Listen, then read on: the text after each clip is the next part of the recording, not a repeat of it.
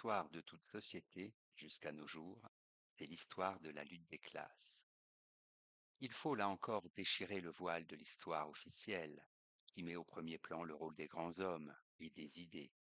Derrière toutes les révolutions, les guerres s'affrontent depuis le début de l'humanité, exploitant et exploités, maîtres et esclaves dans l'Antiquité, seigneurs et serfs au Moyen Âge, bourgeois et prolétaires aujourd'hui.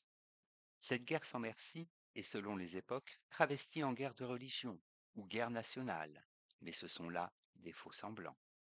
Notre époque, en raison de l'industrialisation capitaliste, porte ce conflit à son point extrême et rend impossible son travestissement habituel.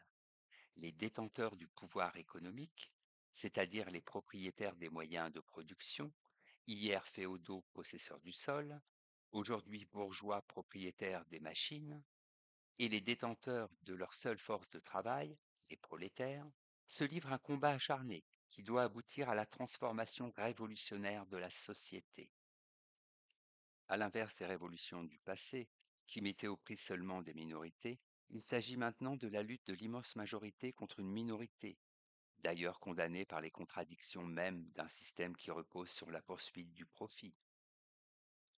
En effet, le jeu même de la concurrence condamne les entreprises à voir baisser leur taux de profit et par conséquent à être asphyxiées.